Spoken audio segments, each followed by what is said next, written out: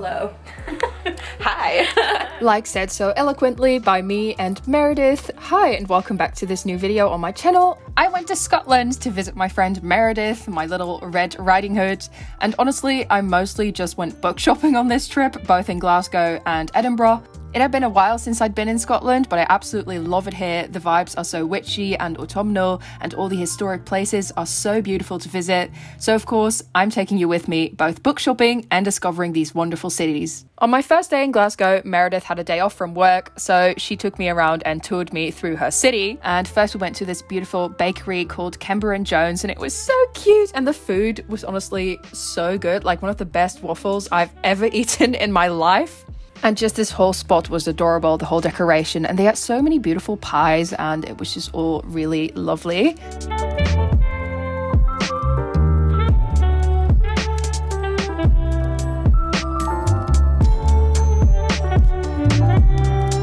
It was a very rainy day, typical Scotland weather. We walked around, and Meredith showed me some of her favourite spots.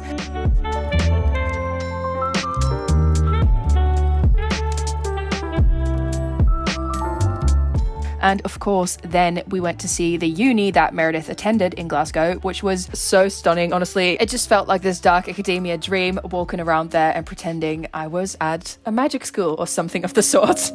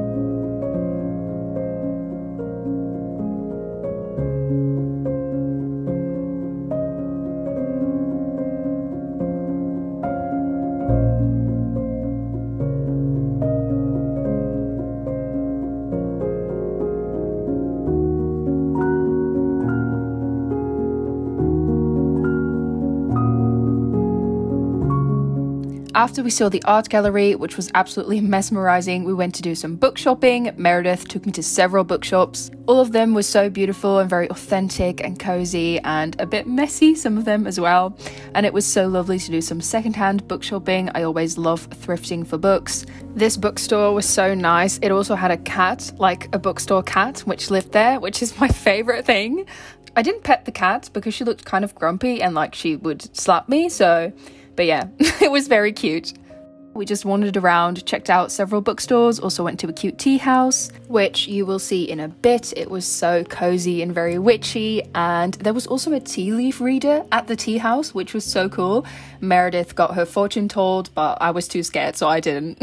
so we sat down and drank some tea and relaxed for a bit and did some chatting. After Meredith got her future told to her, we decided to do more book shopping, so that's just all we want to do. We want to do book shopping and walk around and be dramatic.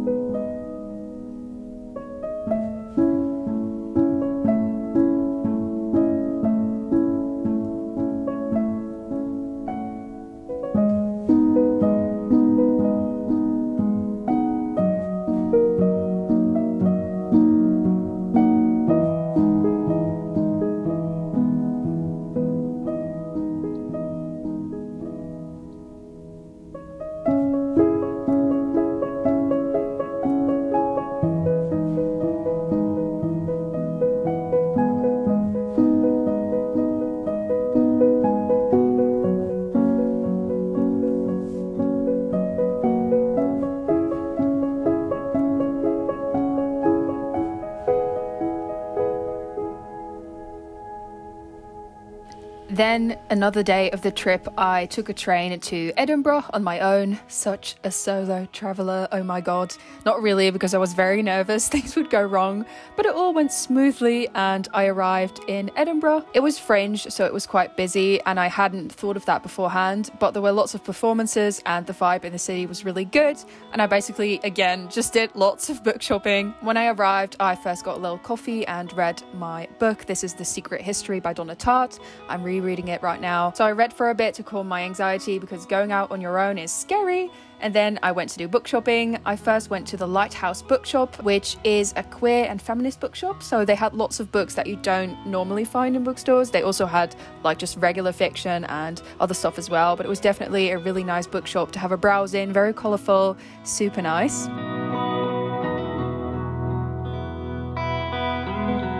And then after that, I went to Topping and Company Booksellers, which is honestly such a cool bookstore. Like, I hadn't anticipated how great this would be, but it was basically just gigantic, so many rooms, like dedicated to different genres, so big, ladders everywhere, absolutely stunning. And yeah, a very classical, beautiful bookstore, and so many genres, so many books. And yes, I bought too many books, and I was very nervous about how I was going to take them home, but I did manage in the end, which is wonderful.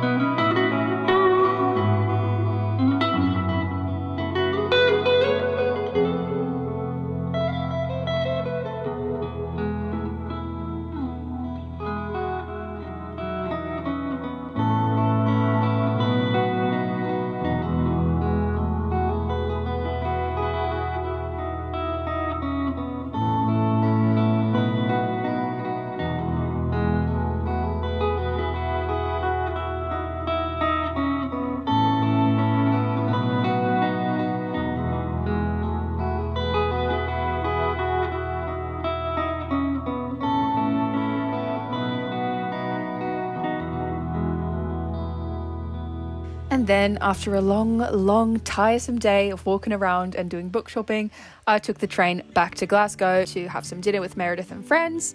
And after that, my trip already came to an end. I had a great time in Scotland. I loved both Glasgow and Edinburgh so much, and I highly recommend both cities if you're ever planning to visit the UK.